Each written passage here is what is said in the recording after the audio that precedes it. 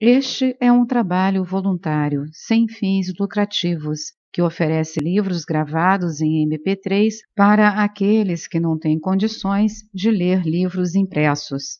Para ouvir este e outros livros gratuitamente na íntegra, acesse nosso canal e leia as instruções na aba Sobre.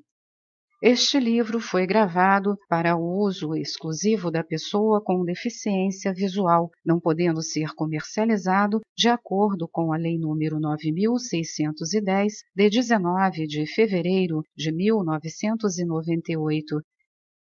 Apresentação quem já teve o privilégio de assistir a uma palestra de Mer Schneider sabe que não se fica sentado passivamente ouvindo como seu trabalho funciona. O ouvinte é imediatamente tratado como um aluno e é levado a fazer os exercícios ali mesmo, na sala de conferência. Para Mer, mais importante do que falar sobre seu método é experimentá-lo. A teoria só tem valor quando vivenciada. Somos seres com incrível capacidade de adaptação, e assim é seu ensinamento, simples, direto, transformador. Atravessa a barreira dos conceitos pré-definidos com a certeza de que todos nós podemos sair da passividade da rotina para o frescor do novo. Esse livro é um espelho de sua didática, o conteúdo interativo e dinâmico expressa essa qualidade do autor, que nos faz sair do conforto de hábitos visuais restritivos para experimentar novas possibilidades. Justamente por considerar que todos nós podemos sempre melhorar nossa capacidade visual, esse livro não se destina apenas àqueles que apresentam um diagnóstico de disfunções, Todos podem se beneficiar dos ensinamentos apresentados, pois, como o próprio Mer sempre aponta, a rotina é a doença degenerativa por excelência. Conheci Mer Schneider em 1992 numa palestra para 600 pessoas em São Paulo, momento propício para um primeiro curso de formação no Brasil, do qual fiz parte. Eu não tinha nenhuma afinidade com a área da saúde, mas esse não era um pré-requisito. Mer sempre fez questão de manter seu ensinamento aberto a todos que queiram se trabalhar. O contato com a técnica mudou completamente minha forma de me relacionar com meu corpo e meus processos cognitivos. Passei então a ensinar a outros, complementando a experiência do aprendizado. Depois de alguns anos atuando como terapeuta especializada na reeducação visual, senti a necessidade de aprofundar meu conhecimento teórico e me formei em optometria. Foi nesse momento que percebi com mais propriedade a grandiosidade do método, pois pude avaliar melhor a facilidade que Mer possui de transformar teorias complexas em algo que nos diz respeito. Afinal, a teoria procura explicar o que somos. Mer traduz isso com rara inteligência e generosidade. Não há nada escondido em seu ensinamento. Tudo às claras, ao alcance de todos que tenham a disposição de se experimentar. Este livro é muito mais do que um guia de exercícios. É um convite à transformação. Boa leitura! M. Fernanda Leite Ribeiro, terapeuta e instrutora do método Mer Schneider, optometrista. Prefácio Talvez em breve o mundo se vá ver diante de uma epidemia de distúrbios da visão à medida que centenas de milhões de seres humanos que foram submetidos ao contato constante com telas de computador, luzes fluorescentes e cidades excessivamente iluminadas gradualmente se aproximem da velhice. Tragicamente, embora pareça adequadamente equipada para prever essa catástrofe, a comunidade médica existente não está de modo algum preparada para enfrentar corretamente essa epidemia. A partir da minha experiência pessoal, acredito que os médicos frequentemente tendem a sofrer de uma forma particular de miopia uma atitude tacanha com relação às abordagens holísticas da restauração e da conservação do corpo. Nos Estados Unidos, onde a cultura corporativa tem influenciado os nossos valores durante a maior parte de nossa vida, compreendemos a importância em qualquer empreendimento bem-sucedido de criar um orçamento para a restauração e a conservação. Se tivermos a intenção de manter o valor e a beleza de qualquer produto ou sistema no decorrer de sua expectativa de vida e de estender essa expectativa o máximo possível, medidas precisam ser tomadas para manter a utilidade de todos os sistemas vitais e corrigir quaisquer defeitos que possam se desenvolver ao longo do caminho devido à utilização imprópria, à negligência ou a um dano acidental. Os seres humanos precisam de uma atenção ainda maior do que as máquinas nesse aspecto. Nós precisamos de cuidados. Estou feliz com o fato de as pessoas estarem começando a despertar para essa ideia e também porque uma atitude preventiva e protetora já começou a se insinuar na psique humana. A cada dia, mais e mais pessoas prestam atenção à comida e à bebida que consomem, se preocupam com o ambiente em que vivem e se empenham em adquirir hábitos saudáveis, como o exercício físico. No entanto, ainda não dedicamos um tempo suficiente à saúde e ao bem-estar dos nossos olhos. Este é o propósito de saúde visual por toda a vida. Ajudar as pessoas a corrigir e manter a sua visão como uma maneira de aumentar a duração e a qualidade de sua vida. Parece-me irônico que a comunidade científica possa ser culpada pela triste condição em que nos encontramos. O sucesso que a optometria e a oftalmologia alcançaram nas últimas décadas é, em grande medida, responsável pela atitude descansada da nossa cultura com relação à saúde dos olhos.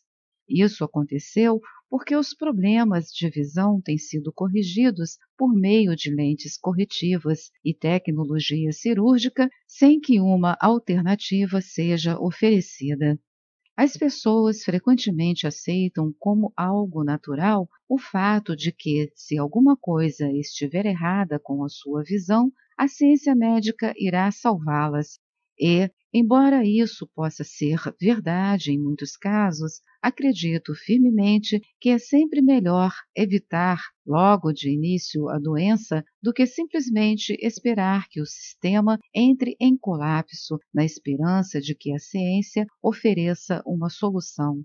Em primeiro lugar, a medicina preventiva é mais barata Compare 20 minutos por dia de exercícios aeróbicos, como correr na praia ou andar de bicicleta no parque, com o custo de uma intervenção cirúrgica caríssima para corrigir artérias obstruídas.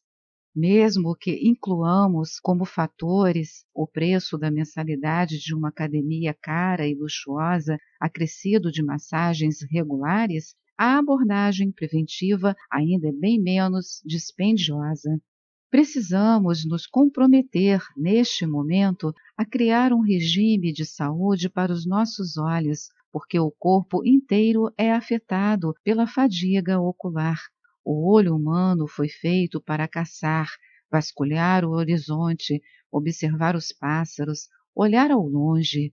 Ele foi projetado para se envolver em uma diversidade de circunstâncias, olhar para coisas distintas, situadas em distâncias diferentes e em diferentes condições de luminosidade. Se passarmos o dia inteiro olhando apenas para a tela do computador debaixo da mesma luz, nós perdemos a variação e também a acuidade. Perdemos o entusiasmo por olhar e ver a diversidade da vida à nossa volta, e quais as consequências disso para o nosso corpo e os nossos níveis de energia. Um grande número de pessoas relata que se sentem exaustas no meio do dia, que precisam de estimulantes que as deixem mais animadas. Precisamos nos lembrar de que tudo o que fazemos com os olhos afeta o corpo inteiro. Os hábitos que você irá desenvolver se seguir os exercícios de saúde visual por toda a vida poderão ser a tábua de salvação que você precisa. Você reinventará a sua paixão pela vida, ao mesmo tempo que protegerá a sua visão e corrigirá o problema degenerativo do qual sofre. O melhor de tudo é que, como acontece com qualquer tipo de regime de exercícios pessoal, esses hábitos afetarão a sua vida de maneiras que transcenderão os benefícios práticos da prevenção da doença. Como diz o poeta, os olhos são as janelas da alma. Ao nos conectarmos com a nossa visão, nos conectamos com a luz e a obscuridade, com a natureza, com o nosso ambiente físico e uns com os outros de maneiras fundamentais, simples e belas. Sair para correr não precisa ser apenas um bom exercício físico, pode ser também um alívio agradável para a mente. É uma maneira de restabelecer o contato com a vizinhança, sair da rotina e expandir a zona de conforto psicológica.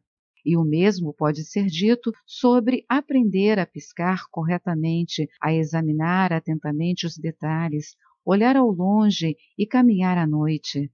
Sem dúvida, os computadores muito fizeram para melhorar a qualidade de vida na nossa cultura.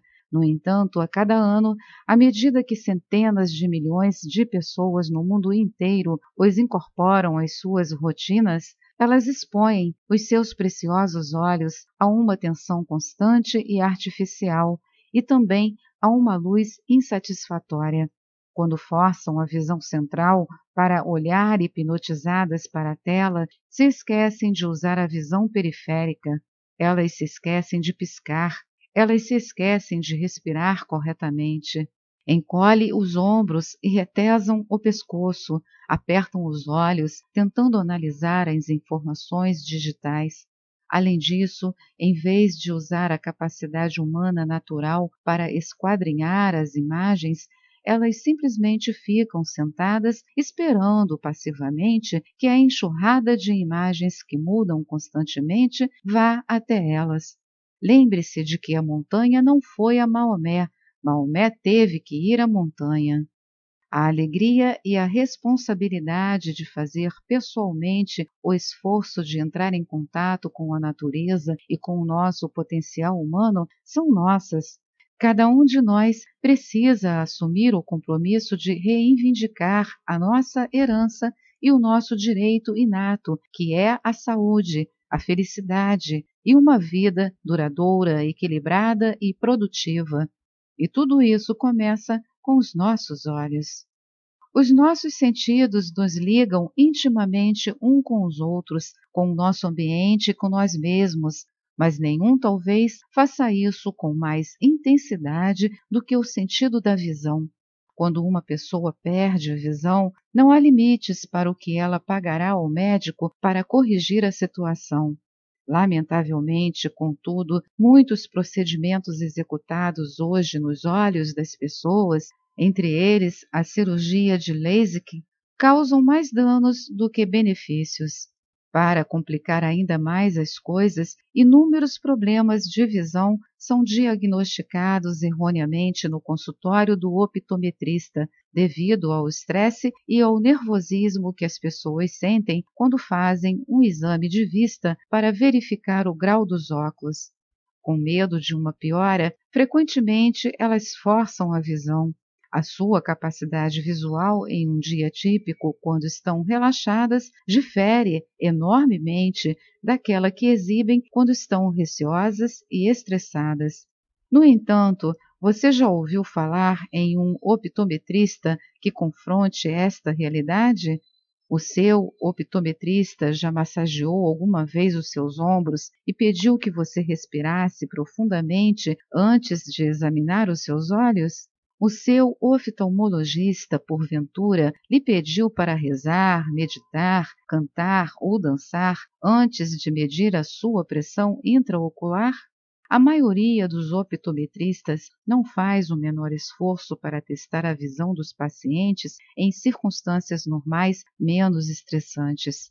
E a maior parte das pessoas não tem capacidade para testar a própria visão quando se encontra em um ambiente mais amigável. Por conseguinte, as receitas de óculos de quase todas as pessoas baseiam-se incorretamente na visão estressada. O resultado é que os olhos, por não terem escolha, aprendem a se acomodar à receita incorreta, ajustando-se gradualmente na direção errada, rumo a uma visão pior e não melhor. Na realidade, a maioria dos optometristas nem mesmo acha que o estresse esteja relacionado com a visão deficiente. A minha experiência pessoal ao trabalhar com milhares de alunos e pacientes contesta o que esses médicos pensam que sabem. O estresse e a visão deficiente, na verdade, caminham de mãos dadas. Desse modo, aconselho aos meus pacientes e alunos a tirar às vezes as lentes enquanto praticam as técnicas que eu lhes ensino e aconselho aos leitores deste livro que façam o mesmo. Quando você estiver em um ambiente seguro, faça os exercícios deste livro periodicamente, sem óculos. Isso não é diferente de aprender novamente a andar depois de sofrer uma lesão na perna. Se você nunca abandonar as moletas, as suas pernas nunca ficarão melhores, não recuperarão a força e não atingirão o seu pleno potencial. Por conseguinte, exercite os olhos da mesma maneira como você exercita o resto do corpo na academia, mas lembre-se de sempre fazer isso quando estiver bastante relaxado. Os exercícios deste livro vão ajudá-lo a criar uma rotina básica e saudável que você pode incorporar imediatamente à sua vida.